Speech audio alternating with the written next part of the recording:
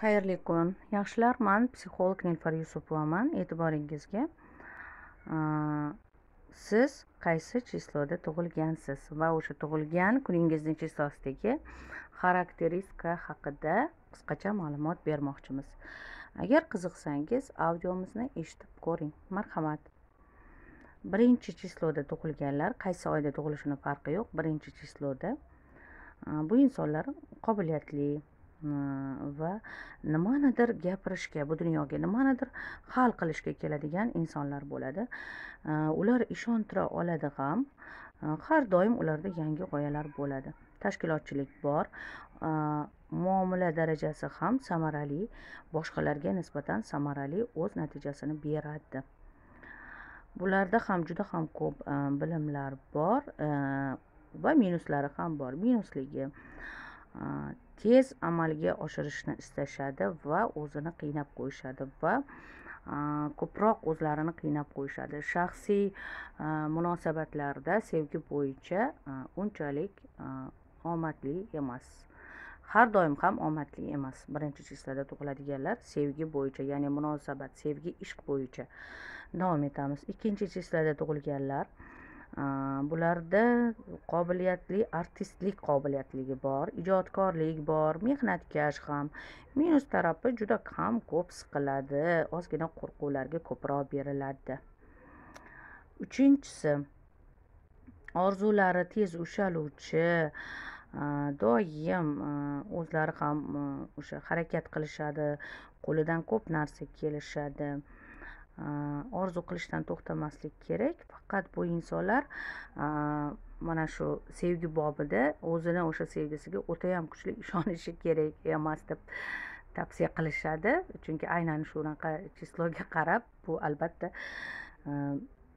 ko'pchilik katta olimlarni fikri endi hamma har xil bo'ladi ko'proq endi kerakli joyi o'xshashi mumkin hamma narsada ya'ni bu insonlar ko'proq e, nima desam ekan uchinchi chislada tug'ilganlar e, слишком ko'p pulni orqasidan quvish kerak emas va sevgisida ham adashmaslikka harakat qilish kerak.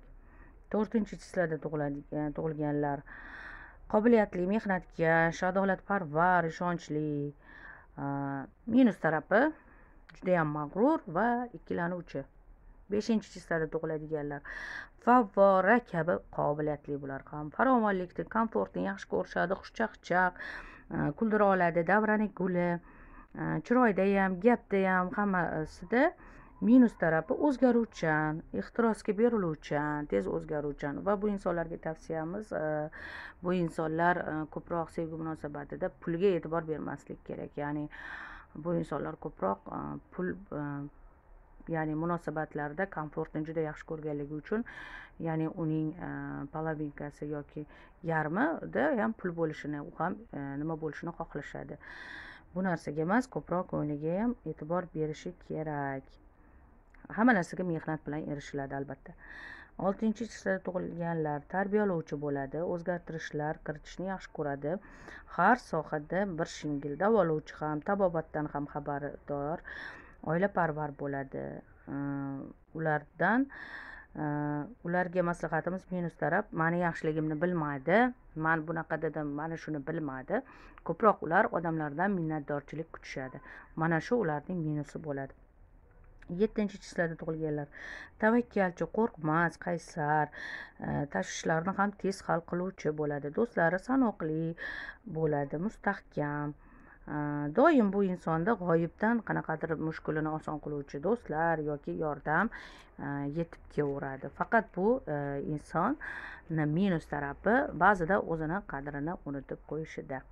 Sakkizinchi chislada tug'ilganlar bularda mm, buyruq berish tashkilotchilik pulni hidini oldindan sezuvchi odamlar bo'ladi. Hm, ko'proq daromadni o'ylovchi inson bo'ladi. Hm, negadir hayotidagi muammolari takroriy takroriy qaytalanaveradi. Hm, bu yaxshilik agar e, lekin bu insonda minus tarafi nafrati bo'ladi. Ichki nafratini ba'zida yashira olmaydi.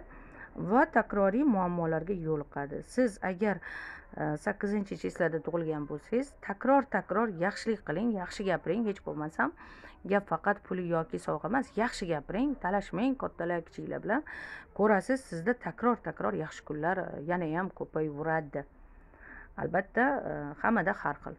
Bu sakkizinchi chislodagilarni aytdim. To'qqizinchi chisloda tug'ilganlar e, adolatparvar qobiliyatli ya'ni bular teatrga modaga ko'p narsalarga qiziqadi bularni ichki qobiliyati ham bor ruhiy qobiliyati ham bor oldindan sezish qobiliyati bor tushlarida ham nimalarnidir oldindan sezish qobiliyati bor faqat bu insonlarda minus taraf pul topsa ham pullarni o'zi uchun ishlatsa zarar atrofiga oilasiga yordam berishi kerak. To'qqizinchi sinfda tug'ilganlar o'ziga ishlataman deb boshqacha ishlatib yuboradi. Bularni endi minuslari shu. Ya'ni keyin bu insonlarda ko'p yaxshi insonlarni tez unutib yuboradigan qobiliyati bor. Ko'p unutib yubormang yaxshi insonlardan duo olsangiz ham ishlaringiz yurishadi. A sizda siz yaxshi insonlarni unutmayman deysiz lekin tez unutuvchi odamlar toifasiga kirasiz. Erinchoqsiz borib ko'rishga ham erinchoqlik qilasiz. O'shaning uchun sizda muammolar qobiliyatingiz ming zo'r bo'lmasin muammolar o'zidan o'zi qayoqdandir paydo bo'lib qoladi. Ya'ni siz sizni oldin yaxshi ko'rganlar yoki sizga yordam beruvchilardan hol ahvol xabar olib tursangiz ishlaringiz kundan kunga rivojlanaveradi o'ninchi chislada tug'ilganlar bo'ysunmas mehnatkash ammo juda qaysar bo'ladi. Sizga ruhiyatingiz bilan e, shug'ullanish yoqadi. Ya'ni siz ko'proq e, yolg'iz fikr yolg'iz g'oyalarni yaxshi o'ylaysiz.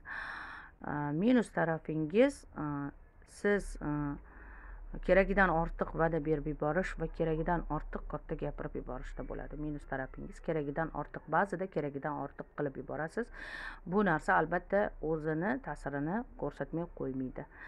Sizga e, o'sha o'sha narsani unutsangiz e, ozgina bo'lsa ham ba'zida e, ko'proq eshitish va ozroq o'ylab keyin sizga ruxsat berilgandan keyin gapirishga ana keyin gapirsangiz siz faqat yutib chiqasiz.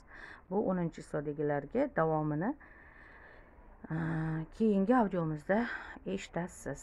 E'tiboringiz uchun rahmat. Bizni kuzatishda davom eting. Keyingi chisalarni keyingi audiolarimizda eshitib olasiz degan umiddamiz sog' bo'linglar salomat bo'linglar.